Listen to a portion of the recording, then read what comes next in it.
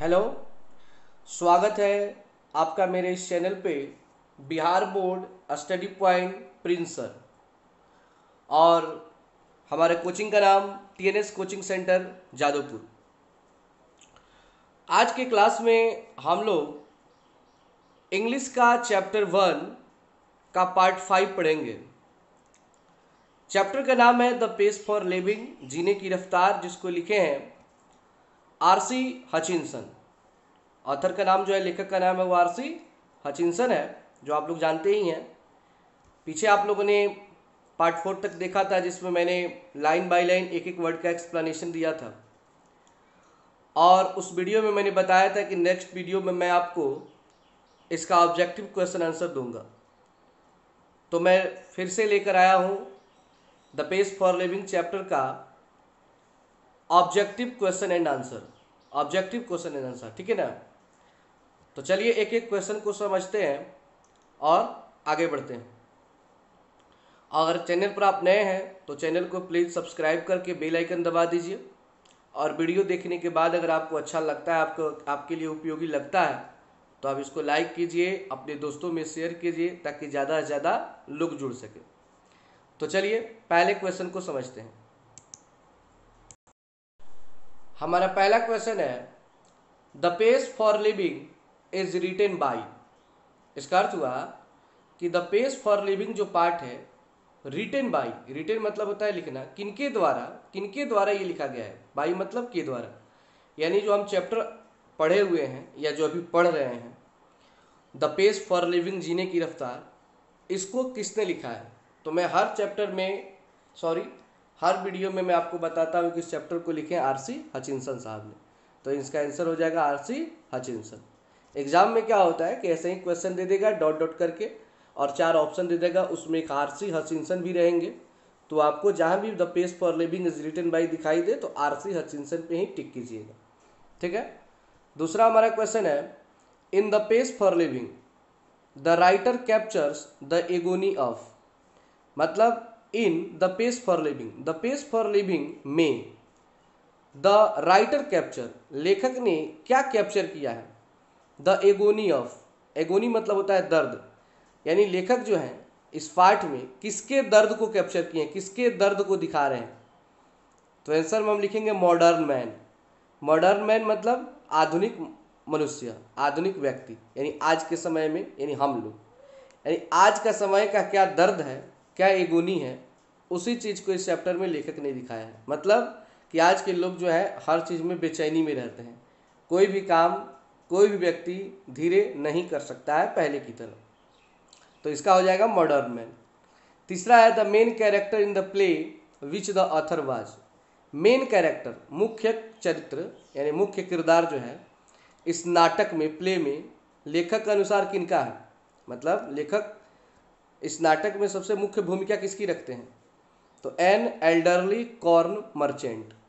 एक एल्डरली मतलब हो गया प्रौढ़ मतलब एक टाइप से अधेड़ बोल सकते हैं। एक प्रौढ़ मक्के का व्यापारी। वही है जी क्योंकि आप पूरा चैप्टर जो पढ़े हैं, उस चैप्टर में क्या है कि एक मक्के का व्यापारी है जो इसकी मेन किरदार कर रहा है, उसकी एक वाइफ है, उसका एक भतीजा है, सारी चीज़ के बारे में पढ़े। तो मेन कैरेक्टर अगर इस चैप्टर में पूछे, इस नाटक में कौन है तो आप कहेंगे एन एल्डरली कॉर्न मर्चेंट। ठीक है ना? यहाँ पे ए नहीं एन लगाया गया क्योंकि यहाँ पे ई है भवेल है। तो ग्रामर की क्लास पढ़ाया जाएगा तो बताएँगे ए और एन दी का प्रयोग कहाँ पे होता है। बहुत जल्द वो भी शुरू होने वाला है।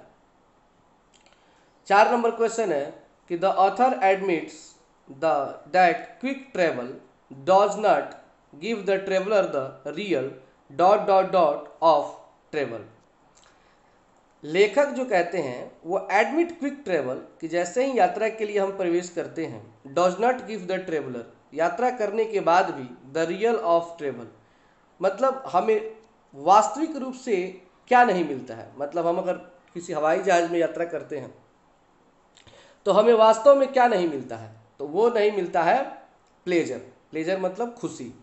रियल प्लेजर वास्तविक खुशी। कब? जब हम किसी प्लेन में ट्रेवल करते हैं तो डॉज नॉट गिव हमें नहीं मिलता है। अगर लेखक अनुसार हमें प्लेजर वहीं पे मिल सकता है, जब हम बस से यात्रा करें, रेलगाड़ी से यात्रा करें मतलब छोटे छोटे वाहनों से यात्रा करें, उसमें जितना हमें खुशी मिल सकता है, उतना बड़े बड़े वाहनों में घूमने से हमें खुशी नहीं मिल सकता है। खुशी मिलेगा भी तो रियल हैप्पीनेस रियल प्लेजर कभी नहीं मिलेगा आपको। फिर पाँच नंबर है where did the author saw the play लेखक ने नाटक कहाँ देखा था? तो डबलिन। डबलिन जो जगह है, वहीं पे इन्होंने नाटक देखा था। छः नंबर है who had the fantastic notion of spending ten pounds on holiday यानी कौन थी जो दस पाउंड प्रत्येक होलीडे पे, प्रत्येक छुट्टी पर स्पेंड करने का उसने नोशन बना लिया था? मतलब खर्च करने का उसने एक आदत बना लिया था। मतलब कौन है? इस चैप्टर में तो दस पाउंड ज़रूर खर्चा करेगा किसी भी होलीडे पे। उसका एक फैंटास्टिक नोशन बन चुका है, एक आदत बन चुकी है। तो कौन थी जी वो? Wife of the corn merchants corn merchant की पत्नी।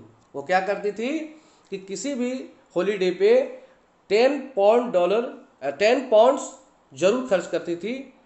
वो इससे कम कभी करती नहीं थी। जो कॉर्न मर्चेंट को अच्छा नहीं लगता था। सात नंबर हमारा ऑब्जेक्टिव है।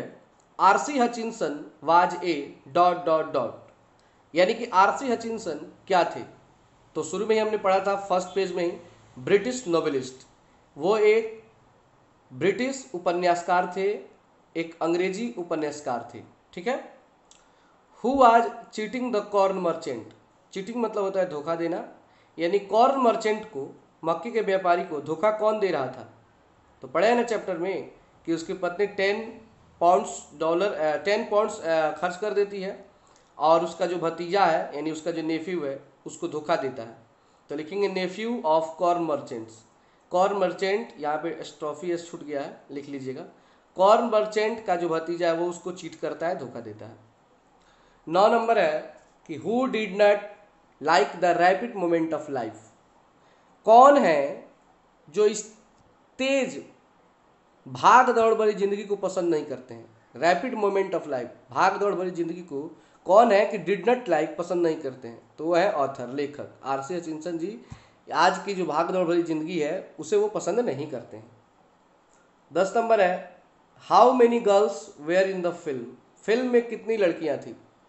जैसे हमने कहानी जो पढ़ा, पूरा चैप्टर पढ़ा तो उसमें हमने क्या देखा कि जब ऑथर है और उसकी पत्नी का फ़िल्म देखते हैं तो ऑथर को जल्दी कोई बात समझ में नहीं आती है, काफ़ी वक्त लग जाता है उस चीज़ को समझने में। तो बार बार अपने वाइफ के कान में जाकर विस्पर करते हैं, फुसफुसाते हैं और तब वो बताती है कि इसमें तीन लड़कियाँ हैं क्योंकि उनको समझ में नहीं आ रहा था कि कितनी लड़कियाँ हैं। तो वहीं पे हम लोगों ने पढ़ा था ना कि ए बी सी दो सुनहले बालू वाली थी, एक काले बालू वाली थी तो तीन लड़कियाँ थी फ़िल्म में। ग्यारह नंबर है हु वाज एनेक्सियस मैन कौन आदमी था जो एनेक्सियस था? मतलब परेशान था, डरा हुआ था। तो वो था कॉर्न मर्चेंट, मक्के का व्यापारी। और लास्ट है हमारा which tribe did the author belong author जो है, वो किस प्रकार के व्यक्ति हैं? तो कहेंगे स्लो थिंकर्स धीरा सोचने वाले व्यक्ति हैं तो इस तरह अगर आपका एग्ज़ाम में इस चैप्टर से कोई भी ऑब्जेक्टिव क्वेश्चन अगर आता है तो इस बारह क्वेश्चन में से ही कोई भी ऑब्जेक्टिव क्वेश्चन रहेगा। आप लोग पीछे का, पीछे साल का जो एग्ज़ाम हुआ है, उस पर जाके मिला सकते हैं। इन्हीं बारह में से अगर कोई भी एक भी क्वेश्चन दो क्वेश्चन आएगा तो इन्हीं बारह ऑब्जेक्टिव में से कोई भी एक ऑब्जेक्टिव आपके एग्ज़ाम में ज़रूर रहेगा नहीं तो नहीं रहेगा। तो इस बारह ऑब्जेक्टिव को आप लोग पूरी तरह से तैयार कर लें, अच्छे तरीके से। इसको नोट्स कर लें। और फिर हम अगले वीडियो में, अगले क्लास में मिलते हैं। इसका शॉर्ट टाइप क्वेश्चन आंसर लेकर और लॉन्ग टाइप क्वेश्चन आंसर एक ही साथ। थोड़ा सा वीडियो वो लंबा होगा लेकिन उसमें हम शॉर्ट क्वेश्चन टाइप और लॉन्ग टाइप दोनों का दोनों क्लियर कर देंगे। ठीक है? तो आज के लिए इतना ही। लास्ट में फिर से ये बात कहूँगा, अगर आप चैनल पर नए हैं तो वहाँ पे जो रेड कलर का सब्सक्राइब बटन है, उसको क्लिक करें और बेल आइकन को दबा के ऑल वाला ऑप्शन सेलेक्ट कर लें, ताकि जब भी मैं वीडियो देखूँ, आपको सबसे पहले मिल जाए। धन्यवाद।